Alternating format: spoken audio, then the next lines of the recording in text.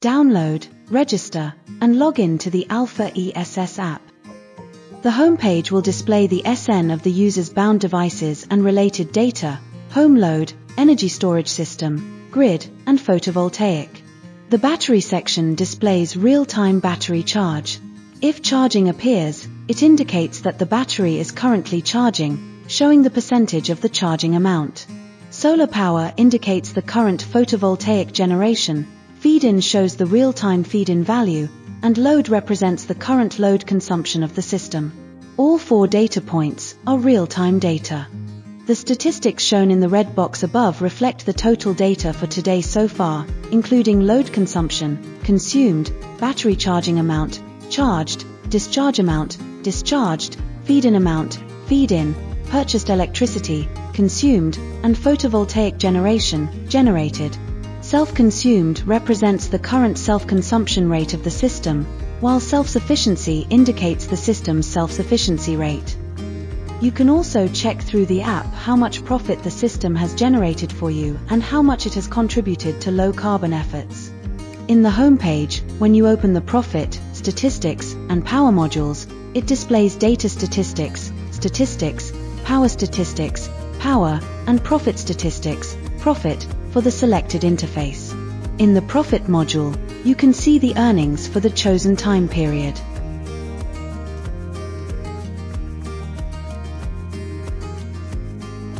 The power module provides future weather conditions and analyzes current electricity usage against the sources of power with a line graph.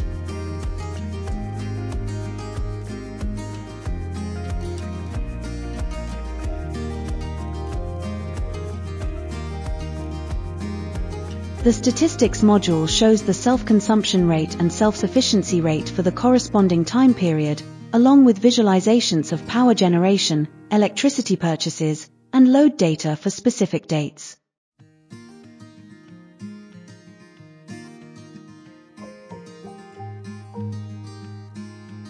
My System, you can view photovoltaic generation, grid electricity consumption, battery capacity, and load-related data.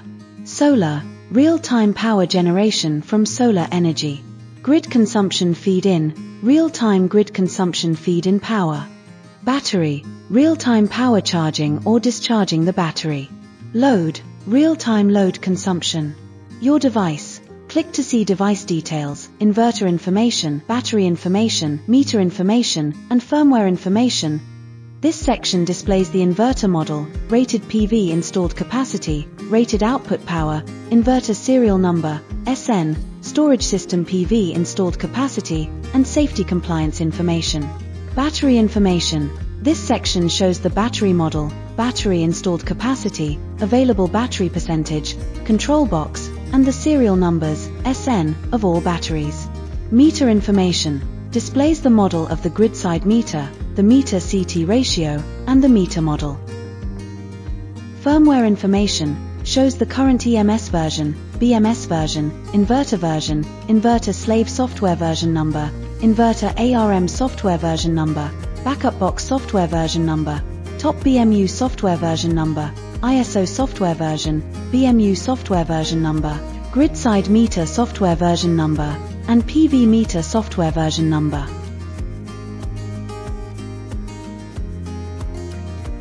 Select the system and click the Settings button in the top right corner to access the Function Settings interface.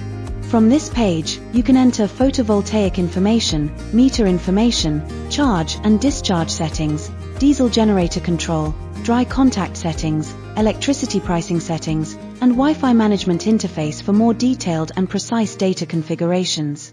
Charging discharging setting. In this interface, you can modify and set the charging cutoff SOC and discharging cutoff SOC, as well as the execution cycle. During the specified time period, the battery will be forced to charge and will not discharge. Outside this period, the system will operate in self-consumption mode. To set the charging or discharging cutoff SOC, click on Charge and Discharge below for normal configuration. The discharging cutoff SOC can be set independently. These settings are only effective when connected to the grid. Generator control. You can choose whether to enable the diesel generator. In this interface, you can set the generator's rated power, frequency, and control mode SOC control, time control, or manual control. You can also define the operating SOC range, output mode, and battery charging power. Click Submit to save the relevant settings. Auxiliary contact setting. You can configure normally open and normally closed dry contacts. Select the corresponding channel to activate it. If you choose the control mode as ON, the normally open contact will remain closed during the specified time period and will stay open outside of this period. If you select OFF, the opposite occurs. The normally closed contact will remain open during the specified time and will stay closed outside of that time. If you select Auto, the normally open and normally closed contacts will operate according to your settings. Once the settings are completed, the time control function will no longer be effective. Electricity prices setting. You can configure parameters related to purchase and sell electricity, such as total investment and currency. Additionally, you can set the time periods and prices for buying and selling electricity to maximize your profits. Wi-Fi management. You can view relevant information about the Wi-Fi, including network type, Wi-Fi module SN, Wi-Fi software version, and Wi-Fi hardware version.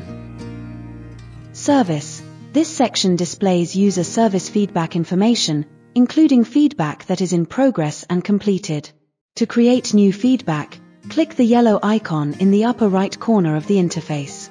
The new feedback form includes fields for feedback type, issue type, and device selection. You should fill in or select these according to your actual needs and provide the contact information of the person submitting the feedback. Finally, submit the feedback information to complete the process. In the feedback type, you can choose either product suggestion or support ticket. After selecting product suggestion, you can choose the relevant category in the question type below and provide a detailed description of your suggestion at the bottom. If you choose to provide a support ticket, you can select from the following four issue types, system error, monitoring data anomaly, technical consultation, and other. You will also need to provide your system SN to describe the issue and can even attach photos, which will greatly help us resolve your problem quickly. After completing this, please fill in your contact information, including your email, country, contact name, phone number, province state, city, and zip code, so we can provide you with timely feedback on your issue. Documents. This section displays a variety of informational materials. You can choose between list mode or thumbnail mode at the top. In list mode, you can browse detailed information about all files, including file format, battery model, and source. You can also directly search for the information you need using the search box at the top. Thumbnail mode presents a flat, icon-based layout that categorizes the information for easier viewing. In thumbnail mode, you will find categories such as News Center, installation instructions, installation videos, user manuals, QAMP, A, German instructions, Australian installation instructions, and testing guides. Me.